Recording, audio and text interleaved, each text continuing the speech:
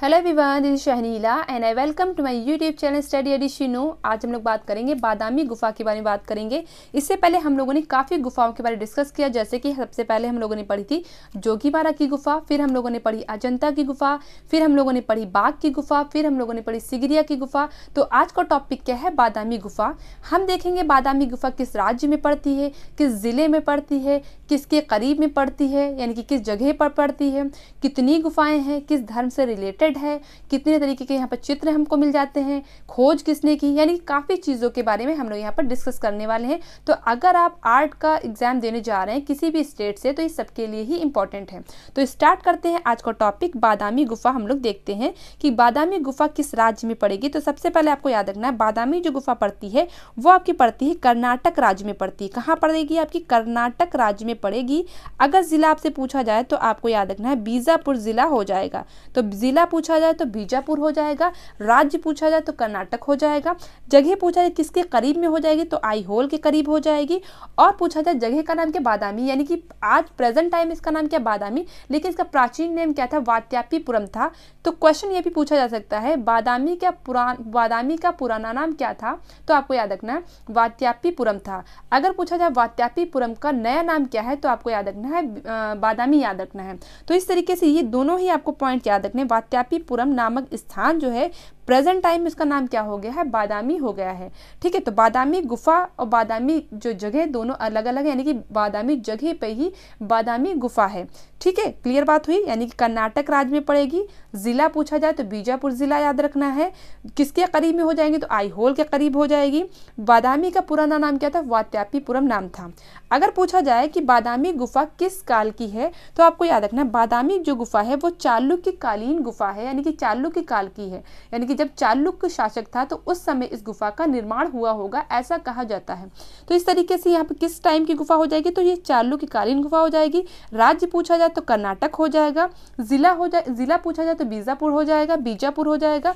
अगर करीब किसके हो गए तो आईहोल के करीब में हो जाएगी। यानी कि हम लोगों को इस तरीके से पढ़ना है कि वीडियो को देखते ही सारी चीज़ें हम लोग को लर्न भी होनी चाहिए, क्योंकि ज़ाहिर सी बात है, हम लोग को लर्न भी करना होता है। तो हर वीडियो में जैसे मैं कहती हूँ कि चीज़ों को हम लोग इस तरीके से पढ़ें कि चीज़ें आपकी उसी वक्त लर्न हो जाएँ क्योंकि इतना सिलेबस होता है कि आप हर चीज़ को बार बार रिवीजन नहीं कर सकते हैं। हालाँकि रिवीजन तो आपको करना है लेकिन फिर भी अगर आप चीज़ों को साथ साथ लर्न करते चलेंगे तो आपके लिए क्या होगी? आसानी होगी।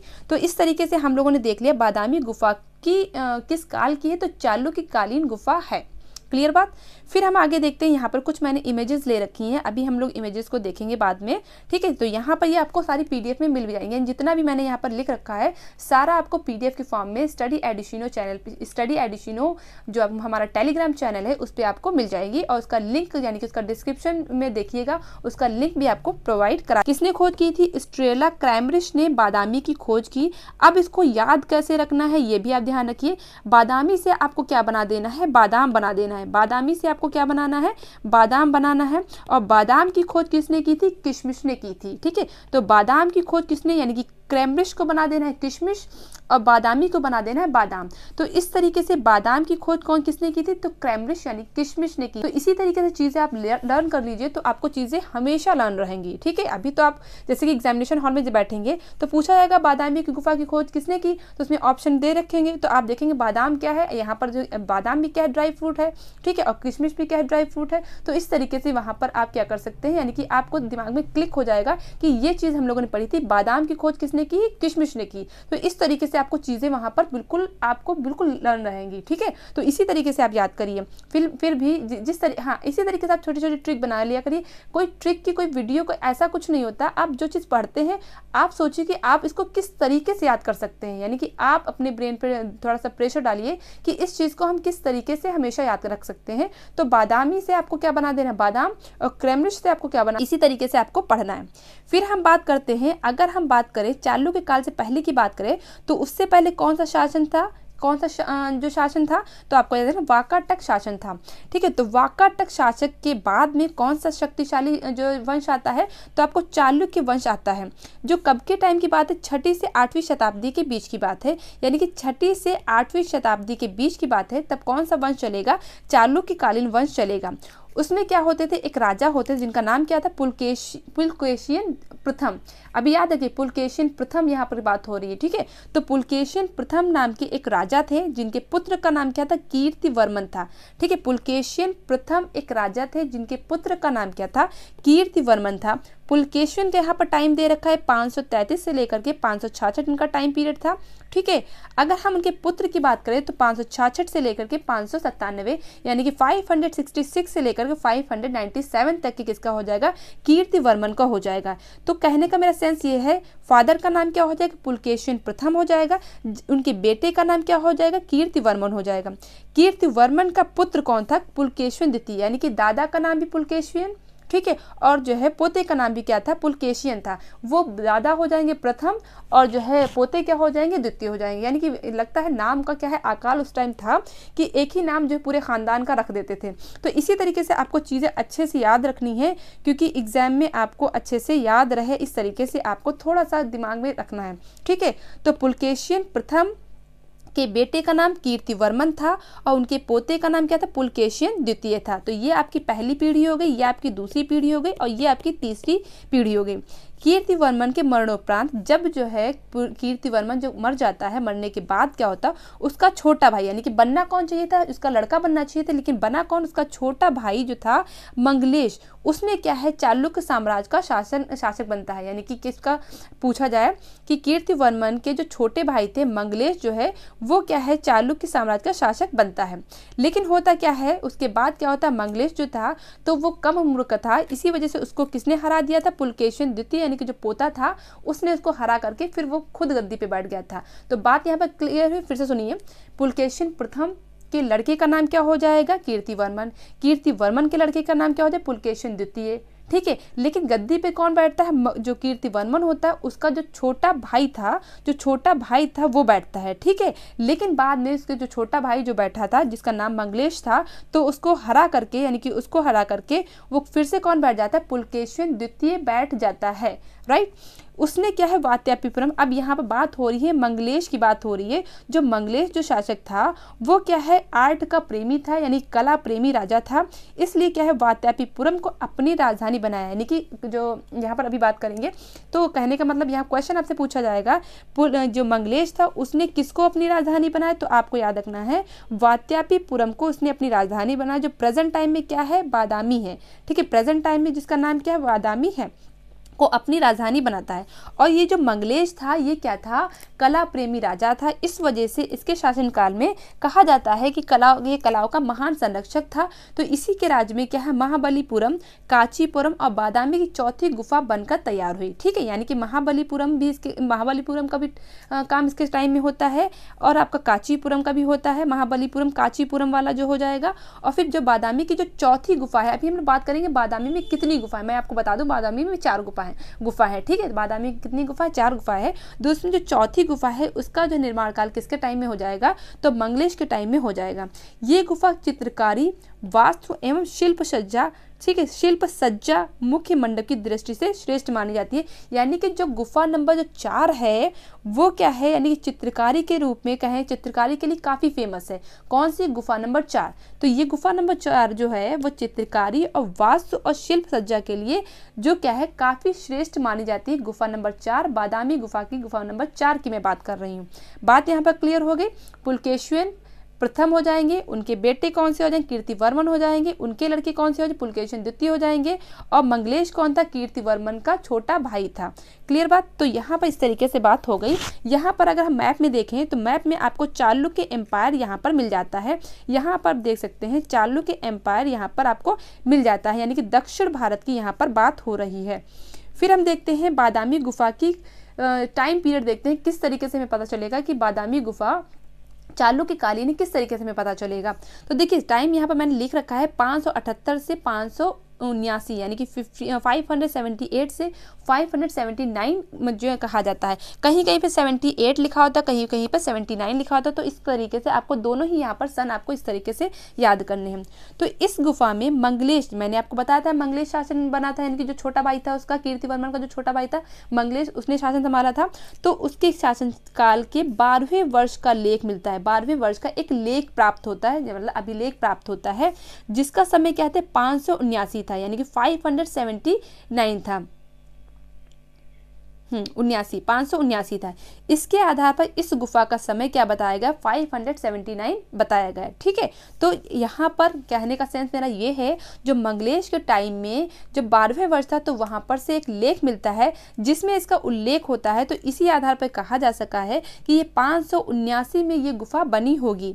निश्चित किया गया, इस अभिलेख से बादामी की गुफा के निर्माण के संबंध में सूचनाएँ प्राप्त है यानी कि इस अभिलेख में बादामी से रिलेटेड आपको यहाँ पर सूचनाएँ मिल जाती हैं, जिसके अनुसार चौथी गुफा के मुख्य मंडप मंडप मैंने आपको बताया था, जब हाँ मंडप वगैरह ये सब चीज़ें हम लोग पढ़ा चुके हैं, मंदिर के सारे पार्ट्स के बारे में हम लोग डिस्कस कर चुके हैं तो आप स्थापत्य कला वाली जो प्ले है उसमें आप चेक करिएगा तो वहाँ पर आपको जो मैंने बताया, आपको मंदिर के कितने पार्ट्स होते हैं, यहाँ पर मैंने स्तूप के पार्ट्स बताए, यानी काफ़ी चीज़ें हम लोगों ने स्थापत्य में क्लियर की हैं तो आप जो है प्ले में जाइएगा तो वहाँ पर स्थापत्यकालीन जो आपकी पीडीएफ होगी, सॉरी, स्थापत्यकालीन जो प्ले होगी तो वहाँ पर आपको सारी चीज़ें मिल जाएँगी। तो वहाँ पर आप देखिएगा, मैंने मंदिर को बहुत ही कायदे से डिस्कस किया है कि गर्भगृह क्या है, ठीक है? और प्रतीक्षा पद क्या है, यानी कि बहुत सी चीज़ें हम लोगों ने वहाँ पर डिस्कस की थी। तो फ़िलहाल यहाँ पर हम लोग इसके बारे में डिस्कस ना करें तो ज़्यादा बेटर रहेगा। तो जिसके स्थान पर क्या चौथी गुफा के स्थान पर मुख्य मंडप में विष्णु की प्रतिमा तो जो प्रतिमा का जो मुख्य जहाँ प्रतिमा रखी होती है वो क्या होता है? गर्भगृह होता है, मैंने आपको बताया था। तो उसी तरीके से जो है विष्णु की यहाँ पर प्रतिमा मिल जाती है। मंदिर में पूजा पाठ के लिए अनुदान स्वरूप लंजिसवाड़ा नामक ग्राम की जागीर इस मंदिर के प्रबंध के लिए बांधी गई। तो कहने का मतलब यहाँ पर समझ लीजिए क्या है इनका, कि यहाँ पर आपको विष्णु की भी प्रतिमा मिलती है। तो यहाँ पर जिसके अनुसार चौथी गुफा के मुख्य मंडप में विष्णु की, विष्णु जी की, विष्णु भगवान की प्रतिमा यहाँ पर स्थापित की गई है और मंदिर में पूजा पाठ के लिए अनुदान स्वरूप लंजीसवाड़ा नामक ग्राम की जागीर इस मंदिर के प्रबंध के लिए बांधी गई है। बात क्लियर हुई? तो ये सारी चीज़ें आपको ध्यान रखनी है। ठीक है, ये सारी चीज़ें आपको पीडीएफ के फॉर्म में आपको मिल जाएगी। बादामी के अलंकरण संबंधी अभिलेख से स्पष्ट होता है, यानी कि बादामी गुफा में जब हम जाते हैं तो वहाँ पर जो अलंकरण मिला है तो उस अभिलेख के तहत हमें क्या देखते हैं कि मंगलेश की सभा के चित्रकार वाकटक के समय से चली आ रही परंपराओं का पालन कर रहे थे। ठीक है, यानी कि जो हमें बादामी गुफा में जो अभिलेख मिलते हैं, जो चित्रकारी मिलते हैं तो उससे हम लोग ये अंदाज़ा लगा सकते हैं कि जो बादामी गुफा के जो चित्रकार हैं, जिन्होंने चित्रकारी की है वो किसके समय से चले आ रहे थे? वो वाकाटक यानी कि चालुक्य से पहले कौन था? वाकाटक थे तो वा, वाकाटक की चीज़ें वहाँ पर हम लोग को बादामी में झलक मिल जाती है। तो इससे ज़ाहिर होता है कि ये जो चित्रकार थे वाकाटक के समय से चली आ रही परंपरा का पालन कर रहे थे। यानी कि उससे ये थोड़ा सा आइडिया ले रहे थे ठीक है? कहने का सेंस ये है। फिर अगर हम बात करें अगर हम बात करें यहाँ पर मैंने मंगलेश का टाइम बता दिया कि किस समय की ये बात है। अगर हम पुलकेशियन द्वितीय की बात करें पुलकेशियन यहाँ पर पुलकेशियन गलत लिख गया है तो उसको आप सही कर लीजिएगा। पुलकेशियन द्वितीय का शासनकाल की बात करें तो इसका शासन क्या है 608 से 642 है। अब देखिए, बादामी गुफा जो बनके तैयार हुई थी किसके समय में? तो मंगलेश को भी आपको याद रखना और पुलकेशियन द्वितीय को भी याद रखना है। तो बुक में अलग अलग तरीके से दिया होता है तो मंगलेश और पुलकेशियन दोनों ही दिया, यानी कि दोनों के शासनकाल में आपको बादामी गुफा का टाइम याद रखना है। ठीक है तो पुलकेशियन द्वितीय का शासनकाल क्या हो जाएगा? 608 से लेकर के 642 हो जाएगा। ठीक है, मंगलेश का टाइम पीरियड आपको बताया जाए तो पाँच आपको याद रखना यानी कि पाँच और उन्यासी आपको याद रखना है। तो इसी तरीके से आपको चीज़ें यहाँ पर याद रखनी है। फिर हम बात करते हैं बादामी गुफा के चित्रों का समय। मैंने आपको बता दिया, चित्रों का यानी कि बादामी गुफा के जो चित्र बने हैं, बादामी गुफा के अंदर जो चित्र बने हैं, उसका टाइम पीरियड आपको मंगलेश और पुलकेशियन पुलकेशियन भी लिखा आता है, कहीं पर पुलकेशियन भी लिखा आता है, ठीक है? यानी कि अलग अलग बुक में कहीं पर पुलकेशियन लिखा आता है, कहीं पर पुलकेशियन भी लिखा आता है तो इस पर आप मत जाइए। तो वहाँ पर आपको जो भी क्या कहते हैं, जो भी ऑप्शन में मिल जाए तो आप उस पर टिक कर दीजिएगा, ठीक है? टिक नहीं करना मतलब राउंड करना होता है। बादामी गुफा के चित्रों का समय क्या हो जाएगा? मंगलेश और पुलकेशन द्वितीय के शासनकाल के बताए जाते हैं। बिल्कुल आपको याद रखना है मंगलेश और पुलकेशन दोनों को याद रखना है राइट फिर हम बात करते हैं, यहाँ पर कितनी गुफाएँ? मैंने आपको बताया, यहाँ पर कितनी गुफाएँ यहाँ पर चार गुफाएँ हैं, ठीक? कितनी गुफाएँ हैं? चार गुफाएँ हैं। तीन क्या हो जाएँगे? आपके ब्राह्मण धर्म से रिलेटेड है जबकि एक क्या हो जाएँगी? आपकी हिंदू सॉरी जैन धर्म से रिलेटेड है। यानी कि ब्राह्मण धर्म में भी आपको याद रखना है एक हो जाएँगी आपकी शैव धर्म से एक हो जाएँगी वैष्णो धर्म से। यानी कि हिंदू धर्म में भी जो है आ, क्या कहते हैं हिंदू धर्म को भी मतलब कई उसमें बांटा गया है। तो यहाँ पर क्या हो जाएगा? शैव धर्म और यहाँ पर वैष्णो धर्म हो जाएगा। जो शिव को मानते हैं वो क्या है? शैव धर्म के हो जाते हैं और जो विष्णु भगवान को मानते हैं वो वैष्णो धर्म के हो जाते हैं। मतलब वैष्णो धर्म मतलब कहने का मतलब उसके मतलब कहा जाता है। दोनों ही अगर हाँ ऑप्शन में आ जाए कि जो गुफाएँ हैं, यहाँ पर कितनी हिंदू धर्म की है तो आपको तीन हिंदू धर्म या ब्राह्मण धर्म दिया तो ब्राह्मण धर्म भी आप ऑप्शन पर टिक कर सकते हैं। और जो एक गुफा है, वो किस धर्म की हो जाएगी? वो जैन धर्म की हो जाएगी। अब इसके अंतर्गत, यानी हिंदू धर्म के अंतर्गत अगर हम देखें तो गुफा नंबर जो एक है, वो किस धर्म से रिलेटेड हो जाएगी? शैव धर्म से रिलेटेड हो जाएगी।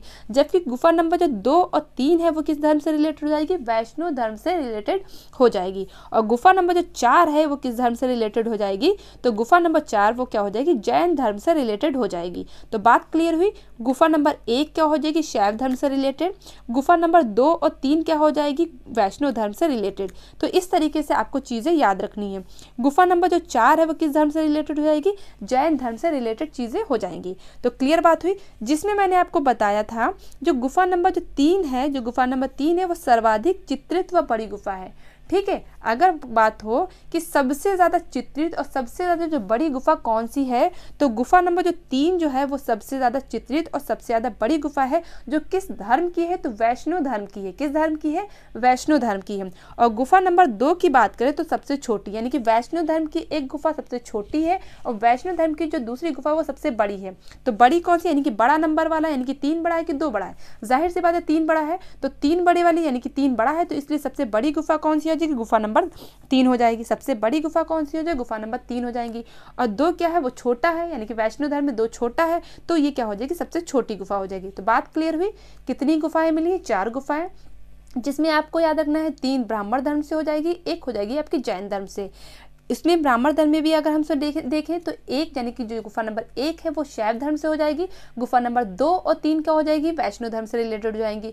और गुफा नंबर जो चार है, वो किससे रिलेटेड हो जाएगी? जैन धर्म से रिलेटेड हो जाएगी। गुफा नंबर तीन क्या है? सबसे बड़ी और सबसे ज़्यादा चित्रित है। ठीक है? यानी कि बड़ी है, इसलिए ऐसे याद कर लीजिए, ये बड़ी होने की वजह से इसमें चित्रण कार्य क्या है? ज़्यादा हुआ है। ठीक है, गुफा नंबर दो की अगर बात करें तो क्या है? सबसे छोटी है। तो यहाँ पर आपको चीज़ें लर्न हो गई होंगी आई थिंक फिर हम बात करते हैं जो कला इतिहासकार क्या होते हैं, जो इतिहासकार का काम ही होता है, यानी कि अपने मतलब जो इतिहासकार है वो चीज़ों को देखते हैं मतलब एक्सपीरियंस लेते हैं, टहलने जाते हैं, उसको खोज करते हैं तो उस आधार पे बहुत सी चीज़ें कहते हैं। तो उसी तरीके से जो कला इतिहासकार, जो पर्सी ब्राउन, जो बहुत फ़ेमस पर्सी ब्राउन ने बादामी गुफाओं के समय में विषय में लिखा, समय ने विषय में लिखा, क्या लिखते हैं? यानी कि पर्सी ब्राउन का जो बादामी गुफा के संबंध में क्या उनकी राय थी, क्या उनकी सोच थी, वो हम यहाँ पर देखते हैं। तो पर्सी ब्राउन ने बादामी गुफा के विषय में लिखा कि बादामी गुफा के भीतर आकर, यानी कि बादामी गुफा के जब अंदर प्रवेश करते हैं तो उनके वैभव को देखकर मनुष्य सचमुच चकित हुए बिना नहीं रह सकता है। यानी कि ब्राउन ने क्या कहा? पर्सी ब्राउन ने क्या कहा कि जब हम लोग क्या है, जब बादामी गुफा में एंटर करते हैं, जब अंदर जाते हैं तो इतने वो, इतना खूबसूरत तरीके से बना, इतना भव्य तरीके से बना, इतना एट्रेक्टिव बना है, इतना ज़्यादा खूबसूरत बना है कि उसको देखे बगैर हम लोग, यानी कि उसको देखते ही क्या हम लोग आश्चर्य हो जाता है, क्या ऐसी भी कोई गुफा हो सकती है? कि मतलब वहाँ जो जो गुफा में जो चित्र बने हैं, जो या गुफा के जो बिल्ड, जो गुफा है, यानी कि जो उसमें नक्काशी वगैरह हुई है तो इस तरीके से की गई है तो उसको देख करके ही जो इंसान क्या हो जाता है अट्रैक्ट हो जाता है उससे, यानी कि उससे ज़्यादा उसका दिल खुश हो जाता है कि क्या बात है, यानी कि इस तरीके की चीज़ भी हमारे भारत में है। यानी कि मुँह से जैसे निकल, क्या क्या, वाह वाह, क्या बात है तो इस तरीके से यहाँ पर पर्सी ब्राउन ने जो है इस तरीके से चीज़ों को अपने अंदाज में बयान किया। मैं बोलती हूँ तो अपने अंदाज में बोलती हूँ, ज़ाहिर सी बात है कि एज इट इज़ उनके वर्ड को अगर बुकिश चीज़ों को याद करेंगे तो याद नहीं होने वाली है। तो इसी तरीके से आपको याद रखना है कि पर्सी ब्राउन क्या कहते हैं कि अगर हम इस गुफा में एंटर करते हैं तो हम लोग का मुँह जो है बिना बोले, बिना कुछ कहे रुक नहीं सकता है। यानी कि उसकी, उसको देखने से हम लोग की आँखें बड़ी हो जाती हैं। आँखें क्या हो जाती है? थोड़ी सी ज़्यादा फट जाती हैं। तो इस तरीके से हम लोग यहाँ पर देख सकते हैं। फिर अगर बात करें, अब ज़ाहिर सी बात है, जो गुफाएँ हैं तो उनकी प्रतिलिपियाँ बनी होंगी क्योंकि उसको हम लोग क्या करना होता है, उसको हम लोग सिक्योर करके रखनी होती है, यानी कि उनकी यादों को रखना होता है। तो इस वजह से वहाँ पर सब प्रतिलिपियाँ वगैरह बनाई गई।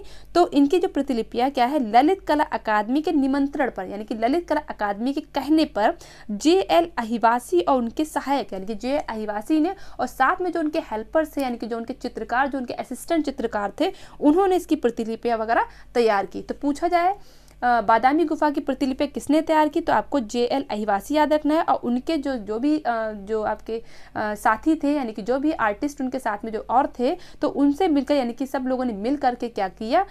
जो है इस ये बादामी गुफा की प्रतिलिपियाँ तैयार की। लेकिन जो मेन नाम होता है, नाम हमेशा उनका होता है। यानी कि कोई भी आप ग्रुप देख लीजिए, जो उसमें जो जो हेड होता है यानी मतलब जीतती पूरी टीम है, लेकिन नाम किसका होता है? जो उसमें हेड होता है, जो उसका लीडर होता है, उसका नाम होता है। इसी तरीके से जे एल अहिवासी और उनके और जो उसके जो साथी कलाकार थे, उन्होंने इसकी प्रतिलिपियाँ तैयार की। बात क्लियर हुई।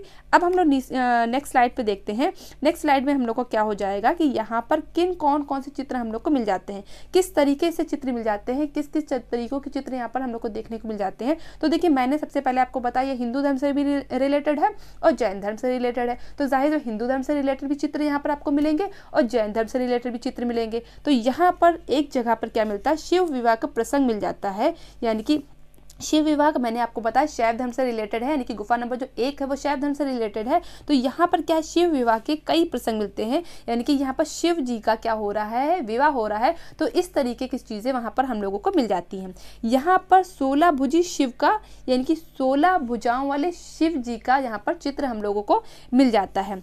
फिर है कीर्ति वर्मा, यानी कीर्ति वर्मा को परिचारकों के साथ दिखाया गया है, यानी कि कीर्ति वर्मा को यहाँ पर कीर्ति वर्मन आई थिंक होगा, कीर्ति वर्मन को परिचारकों के साथ दिखाया गया है।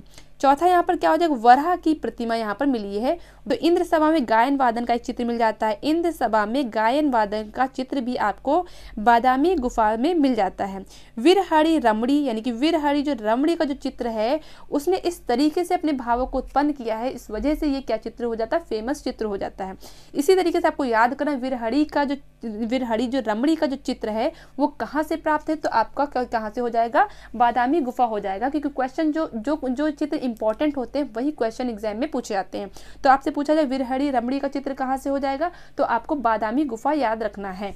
ठीक है? यहाँ पर तीन जैन तीर्थंकर, क्योंकि मैंने आपको बताया, यहाँ पर आप जो, ये जो गुफा है, वो जैन धर्म से भी रिलेटेड है, इसलिए यहाँ पर तीर्थंकर के भी चित्र यहाँ पर आपको मिल जाते हैं। तो यहाँ पर जैन तीन जैन तीर्थंकर के भी चित्र यहाँ पर से आपको प्राप्त होते हैं। तो फिर से याद कर लीजिए, यहाँ पर क्या हो जाए? एक शिव विवाह मिलता है सोलह भुजी शिव जी का चित्र मिलता है। कीर्ति वर्मन को परिचारकों के साथ दिखाया गया है। वराह की प्रतिमा यहाँ पर मिली है। वराह की प्रतिमा यहाँ पर मिली है। इंद्र सभा में गायन वादन का एक चित्र है, यानी कि इंद्र जो सभा होती है, वहाँ पर गायन वादन का जो है, इस तरीके से वहाँ पर चित्रित किया गया है। वीरहरि रमड़ी का चित्र यहाँ से प्राप्त है बादामी गुफा से और तीन जैन तीर्थंकर तीर्थंकर के यहाँ पर चित्र मिल जाते हैं। तो बात क्लियर हुई? यहाँ पर मैंने ये पिक्चर ले रखा है तो ये किसका पिक्चर है? ये विरहड़ी रमड़ी का चित्र है, यानी कि रमड़ी आपको याद रखना है। ये क्या है? चित्र है बादामी गुफा का, यानी कि दासियों का समूह। यहाँ पर आपको दिख रहा होगा, यहाँ पर ये क्या है? दासियों का समूह है। ठीक है तो इस तरीके से आपको बुक में यहाँ पर चीज़ें देखने को मिल जाएँगी। आप जब गूगल में सर्च करेंगे तो आपको वहाँ पर चित्र भी मिल जाएँगे। फिर हम बात करें, यहाँ पर कुछ और चीज़ें देख लेते हैं हम यहाँ पर। कि क्या चीज़ है, इसका मूल्यांकन कैसे हुआ, इस तरीके देखते हैं। देखिए, चित्रों का यदि मूल्यांकन किया जाए, अगर चित्रों को हम ऑब्ज़र्व करें, चित्रों को हम बारीकी से देखें, निरीक्षण करें ऑब्ज़र्व करें तो हमको किस तरीके से चीज़ें मिलती हैं। देखिए, चित्रों का यदि मूल्यांकन किया जाए तो बादामी के चित्र कला की दृष्टि से बहुत ही अभिव्यक्तिपूर्ण हैं। यानी कि उनके जो चित्र है, वो क्या है, कुछ बयां कर रहे हैं, कुछ बता रहे हैं। यानी कि उनके चित्र बहुत ज़्यादा बोलते हुए बोलते क्या कहने मतलब ये कह सकते हैं, बिल्कुल बहुत ज़्यादा अच्छे बने हैं। मतलब थोड़े से एक होते हैं, एक चित्र होते हैं, बेजान वाले, एक वैसे होते हैं, जिनमें कोई एक्सप्रेशंस नहीं है। लेकिन यहाँ पर जो चित्र आपको मिल जाते हैं, अभिव्यक्तिपूर्ण, यानी कि ऐसा लगता है चित्र कुछ अभिव्यक्त कर रहे हैं, ठीक है, बयां कर रहे हैं।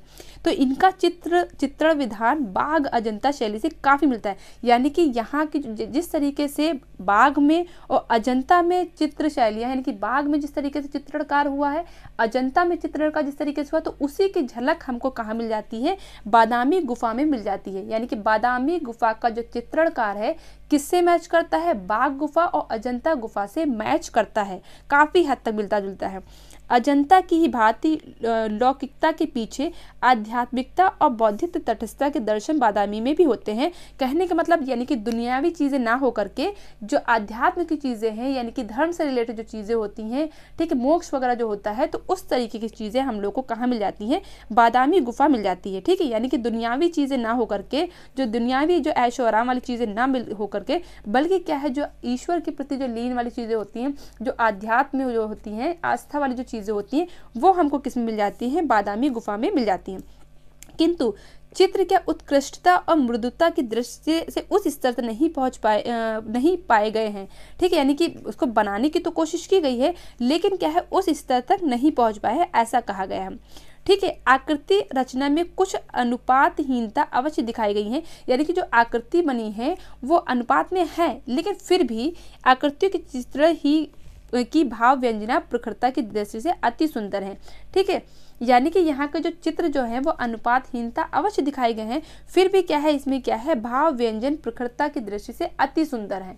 ठीक है? यानी कि चीज़ें अनुपात में इतनी ना होने के बावजूद भी क्या है? भाव व्यंजना, जो भाव व्यंजन है, जो उसमें एक्सप्रेशंस है, चित्र में जो एक्सप्रेशंस दिखाए गए हैं, वो क्या है? माइंड ब्लोइंग है। तो इस तरीके से हम लोगों ने क्या पढ़ा? बादामी गुफा पढ़ी। यानी कि हर चीज़ हम लोगों ने यहाँ पर डिस्कस की। बादामी गुफा पढ़ती कहाँ? किस राज्य में पढ़ती? कितनी गुफाएँ हैं? किस धर्म से रिलेटेड है? कौन सी गुफा छोटी है? कौन सी गुफा बड़ी है? ठीक है? इसकी प्रतिलिपि किसने तैयार की? यानी कि काफ़ी चीज़ें यहाँ पर हम लोग डिस्कस की। और इसी तरीके से क्वेश्चन आपके एग्ज़ाम में पूछे जाएँगे। और यही सारे पॉइंट्स आपके यहाँ पर आते हैं। तो जो जो पॉइंट एग्ज़ाम के एग्ज़ाम के पॉइंट ऑफ़ व्यू से इंपॉर्टेंट थे इंपॉर्टेंट थे तो वो चीज़ें हम लोगों ने यहाँ पर डिस्कस कर ली। ठीक है? तो अगर आपको मेरा ये वीडियो अच्छा लगा हो तो वीडियो को ज़रूर लाइक करें और वीडियो को ज़रूर शेयर करें। देखिए, अगर आप वीडियो को शेयर करेंगे तो मैं उतनी उतनी जल्दी जल्दी वीडियो बनाने की कोशिश करूँगी। अगर आप अच्छा रिस्पॉन्स कर देंगे तो मैं भी अच्छा अपनी तरफ़ से रिस्पॉन्स देने की कोशिश करूँगी। ठीक है? तो इसी तरीके से आप क्या करिएगा, यानी कि वीडियो को शेयर ज़रूर कर दिया करिए। यानी कि आपसे सिर्फ़ मुझे इतना ही चाहिए क्योंकि आप लोग कमेंट करते हैं कि मैम पेड क्लासेस चलाइए तो आप लेंगे तो मुझे पता है आप लेंगे, लेकिन अभी आपको बिल्कुल फ्री ऑफ़ कॉस्ट जो क्लासेस मिल रही हैं, अगर मैं पेड क्लास लूँगी, तब भी मैं ऐसे ही पढ़ाऊँगी, ठीक है? अगर मैं फ्री ले रही हूँ, तब भी मैं ऐसे ही पढ़ाऊँगी, ठीक है? यानी कि जब एक टीचर पढ़ाता है तो ये नहीं देखता कि पैसे ले रहा है तो अच्छा पढ़ा है और पैसे नहीं ले रहा है तो ख़राब पढ़ा है, ऐसा कुछ नहीं है। ठीक है? तो आप लोग बस आपसे इतनी रिक्वेस्ट है कि आप वीडियो को शेयर कर दिया करिए, जिससे कि और लोगों तक मेरी वीडियोस पहुँचे, और लोगों तक यानी कि हमारी जो फैमिली है यूट्यूब फैमिली यानी कि एडिशनल जो फैमिली है, उसका क्राइटेरिया थोड़ा सा बढ़े, ठीक है? तो अब हम लोग वीडियो को यहीं पर एंड करते हैं। अब हम लोग मिलेंगे नेक्स्ट वीडियो में। इसी तरीके से नए टॉपिक के साथ। तो सभी को जय हिंद, जय भारत।